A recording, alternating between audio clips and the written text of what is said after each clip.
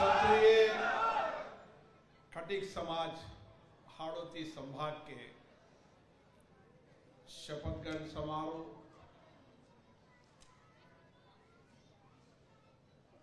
परिचय सम्मेलन और आज विशेष रूप से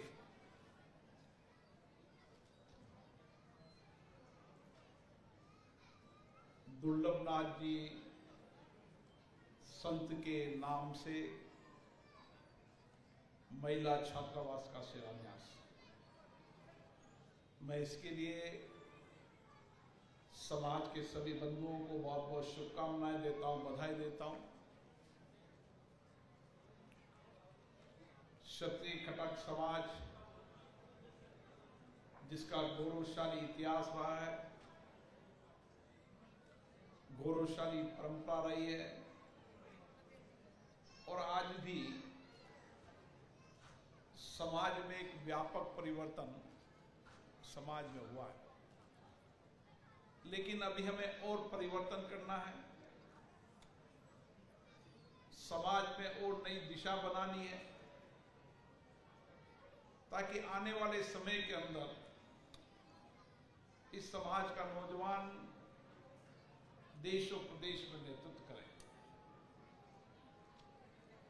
करे खटिक समाज हमेशा सामाजिक परिवर्तन का अग्रणी रहा है। समय काल के अनुसार जहाँ आवश्यकता थी, समाज की रक्षा करने की, वहाँ समाज की रक्षा करने का काम किया। जहाँ समाज में परिवर्तन करने की हो, सामाजिक कुर्तियों को समाप्त करने की, वहाँ सामाजिक कुर्तियों को समाप्त करने का काम किया। लेकिन अभी और परिवर्तन करना है। जिस तरीके से हमारी बेटियाँ देश में नाम कर रही है, चाहे अंतरिक्ष हो, चाहे ज़मीन हो,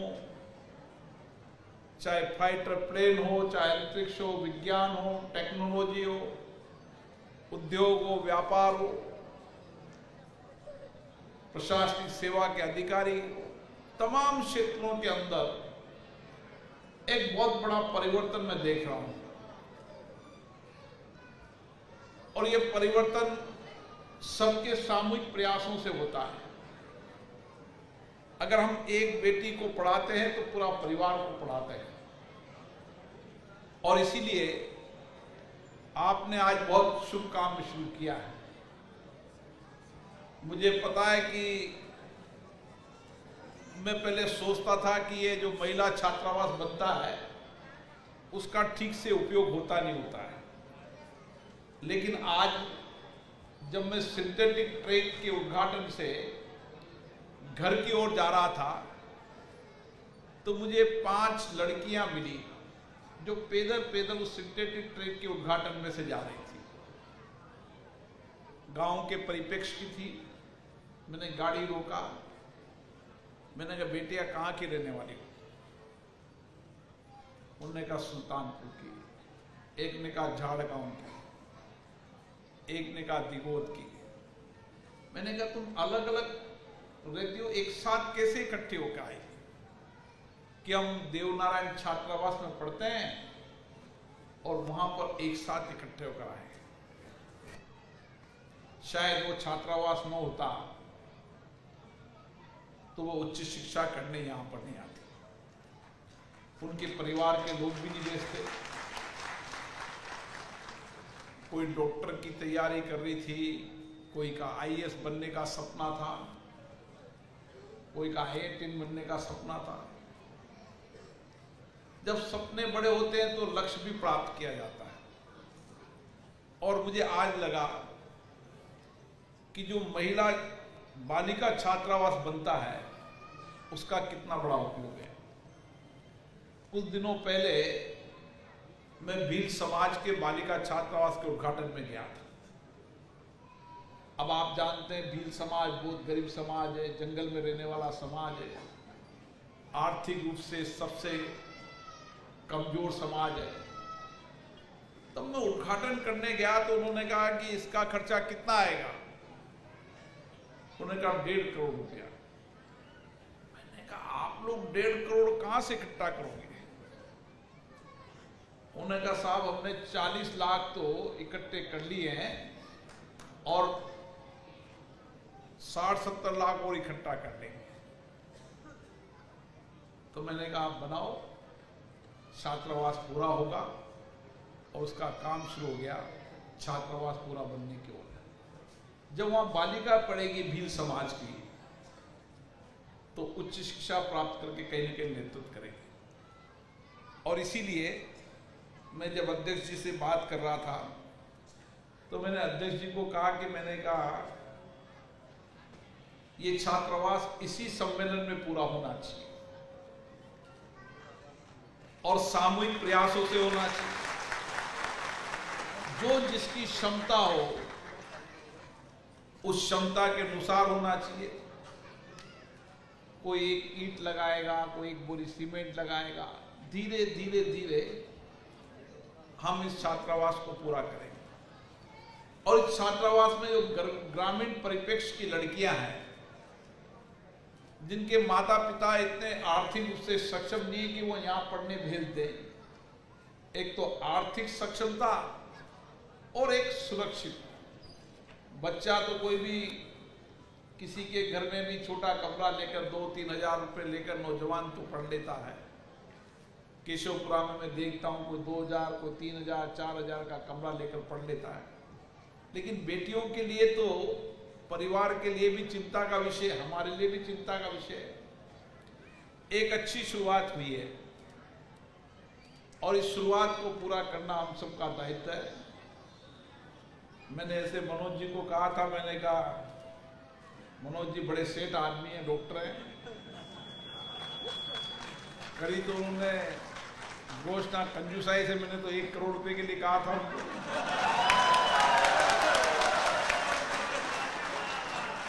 लेकिन जो कुछ भी किया, उसके लिए मैं उनको धन्यवाद देता हूँ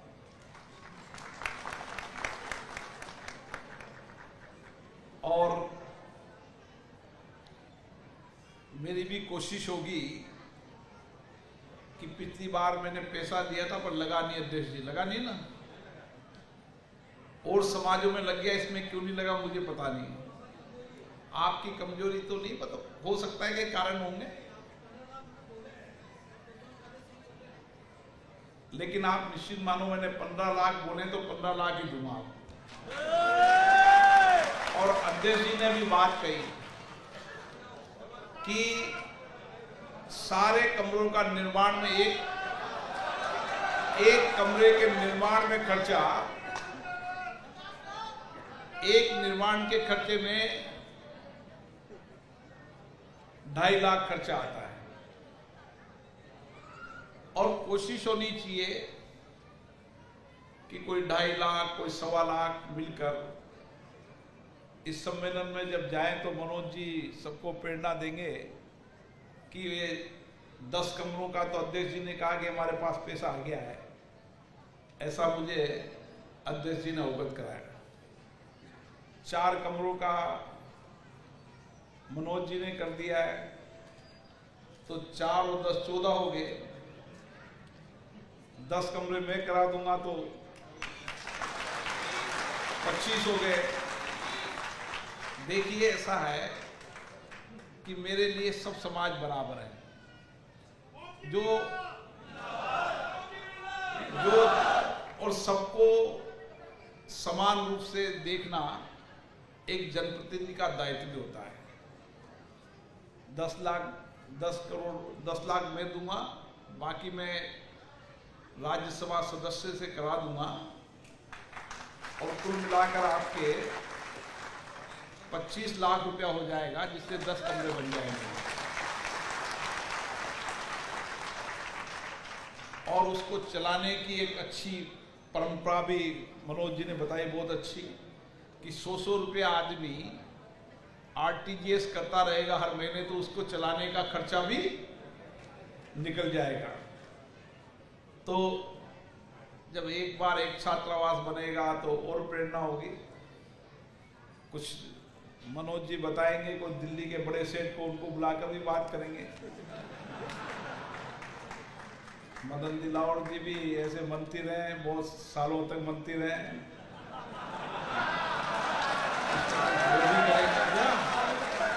उनके भी संपर्क हैं। तो सबके संपर्क से ये छात्रावास का निर्माण हो और कोटा क्योंकि एजुकेशन सिटी है देश भर का विद्यार्थी यहाँ पढ़ने आता है। इसलिए हमारा दायित्व हो जाता है कि यहाँ पर बालिका छात्रावास बना है और दूर दराज के देश के कोई गाँव से भी आए तो अपनी बेटी को यहाँ छात्रावास रूप में रखकर अच्छी शिक्षा, संस्कार मिले, ऐसी मेरी अपेक्षा है।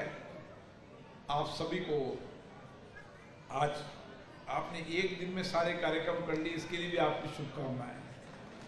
नहीं तो अलग अलग कार्यक्रम में अलग अलग खर्चा होगा। छात्रावास का करते तो अलग खर्चा होता। वर वधु का परिचय सम्मेलन होता, उसका अलग खर्चा होता। शपथ ग्रहण समारोह का और खर्चा होता तो अलग खर्चा होता। तो ये भी एक सामाजिकता के बदलाव की है कि एक दिन में हम कार्यक्रम कर लें। कार्यक्रम में खर्चा कम हो और इस तरीके के निर्माण में खर्चा ज़्यादा हो तो हम सब मिलकर इस छात्रावास को निर्माण पूरा करेंगे। और मुझे आशा है, जो हमारा लक्ष्य है, जीवन के अंदर कि सामूहिकता के साथ मिलकर, सब मिलकर, समाज में सब एक दूसरे की मदद करें। समाज की अवधारणा इसलिए बनी है न समाज में कोई छोटा होता है न समाज में बड़ा होता है।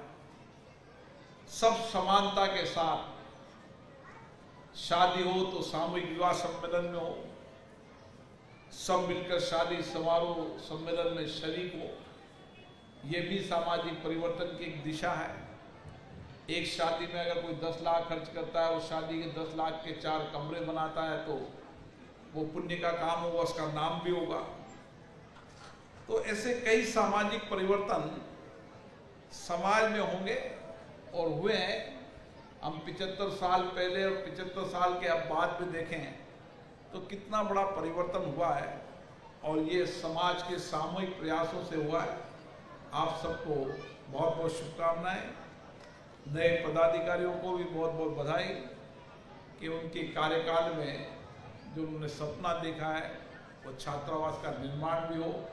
सामूहिक परिचय सम्मेलन भी हो, सामूहिक विवाह सम्मेलन भी हो, और समाज में जो जो सामाजिक परिवर्तन करने की आवश्यकता है, उसको सब मिलकर, साथ मिलकर करें। आप सबको बहुत बहुत शुभकामनाएँ बहुत बहुत बधाई